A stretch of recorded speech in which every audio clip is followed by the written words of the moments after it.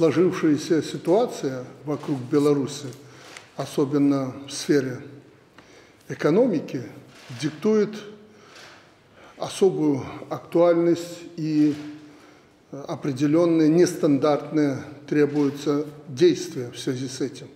Ясно, что в данной ситуации основным нашим партнером, как было раньше, то тем более стала Российская Федерация. И работе на российском рынке мы продаем особое значение.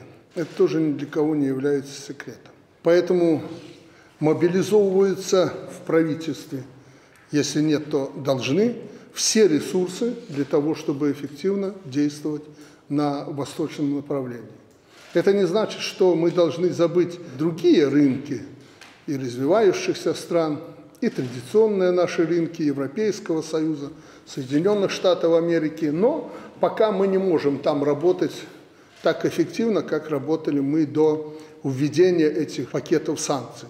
Сейчас понятно, Россию будут душить до предела, а заодно и нас, чтобы Россия не смогла обойти санкции через Беларусь. Ну, такова ситуация.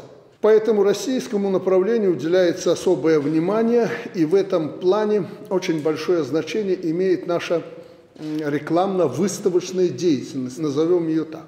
Товар надо показывать лицом, его надо рекламировать, а для того, чтобы рекламировать, надо выставлять.